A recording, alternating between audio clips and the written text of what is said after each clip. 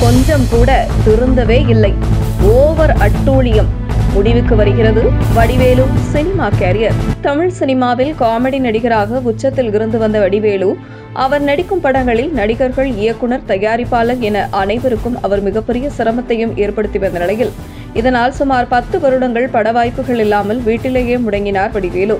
இந்த நிலையில் நாய்சேகர் ரிட்டர்ன்ஸ் படத்தில் கதாநாயகனாக மீண்டும் ரீஎன்ட்ரி கொடுத்த வடிவேலு மேலும் அடுத்தடுத்து காமெடி காட்சிகளிலும் சில படங்கள் நடிக்கும் வாய்ப்பை பெற்றார். வடிவேல் நாய்சேகர் படம் வடிவேல் சினிமா வாழ்க்கைக்கு கை கொடுக்கும் என்று பலரும் எதிர்பார்த்த நிலையில் மிகப்பெரிய தோல்வியை சந்தித்து வடிவேலுவின் சினிமா வாழ்க்கையை கேள்விக்குறியாக்கியது.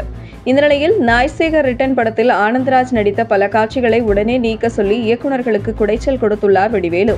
இதனால் பல காட்சிகள் நீக்கப்பட்டுள்ளது. மேலும் தனக்கேற்றாற் போல் கதைகளிலும் உள்ளே புகுந்து குழப்பம் செய்து படத்தையே நாசம் செய்துவிட்டார் வடிவேலு என்றும் கூறப்படுகிறது. இதனால் இயக்குனர் மற்றும் தயாரிப்பாளர்களுக்கு மிகப்பெரிய சேதாரத்தை ஏற்படுத்தியதற்கு முக்கிய காரணம் வடிவேலுதான் என கூறப்பட்டது. அதேபோன்று லைகா தயாரிப்பில் சந்திரமுகி டூ படத்தில் வடிவேலு காமெடியனாக நடித்து வரும் நிலையில் படப்பிடிப்பில் தொடர்ந்து படத்தின் இயக்குனர் பி வாசு மற்றும் வடிவேலு இடையே மோதல் நடைபெற்று வந்துள்ளதாக தகவல் வெளியானது. சந்திரமுகி டூ படத்தில் அடுத்த நாள் படப்பிடிப்புக்கு காலை ஒன்பது மணிக்கு வடிவேலுவை வருவதற்கு தகவல் அளிப்பினார். அதற்கு பத்து மணிக்கு வருகிறேன் என்கிறார் வடிவேலு. சரி சார் பத்து மணிக்கு வாங்க என்றால் பதினோரு மணிக்கு வருகிறேன் என்கிறாராம். சார் கொஞ்சம் சீக்கிரம் வாங்க என்றதும் சரி காலை ஒன்பது மணிக்கு வருகிறேன் என உறுதியளித்துவிட்டு அடுத்த நாள் படப்பிடிப்புக்கு வராமல் போன் சுவிட்ச் ஆஃப் செய்து விடுகிறாராம் வடிவேலு என்கிற குற்றச்சாட்டுகளாலும் சினிமா வட்டாரத்தில் பேசப்பட்டு வந்தது.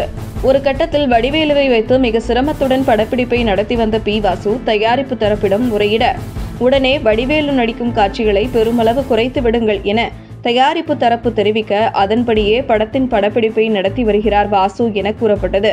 இந்த நிலையில் வடிவேலு நடித்த மாமன்னன் படத்தில் அவருடைய நடிப்பு மிகப்பெரிய அளவில் பாராட்டும்படியாக இருந்தாலும் காமெடியனாக பார்த்த பலருக்கு வடிவேலு சீரியஸாக நடிக்கும் காட்சிகள் மனதில் நிற்கவில்லை.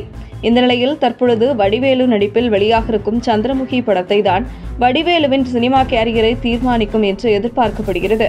சந்திரமுகி டூ படத்தில் நடித்தது குறித்து வடிவேலு சமீபத்தில் பேசுகையில் என் மீது பொறாமை கொண்டவர்கள் இந்த படம் வெளிவந்த பின்னர் மேலும் வயிற்றெரிச்சலாக இருக்கும் என்று கூறினார் வடிவேலு. வடிவேலுவின் இந்த பேட்டியை பார்த்த பலரும் இதே பில்டப்பை தான் நாய்சேகர் படத்திலும் வடிவேலு கொடுத்தார். ஆனால் அவருக்கு அப்படம் பெரிய வரவேற்பை தரவில்லை. மிகப்பெரிய தோல்வி படமாக அமைந்தது.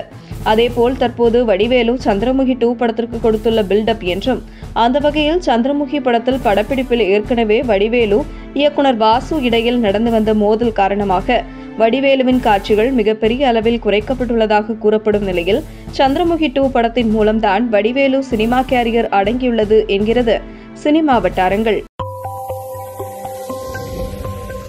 உங்கள் தின சேவல்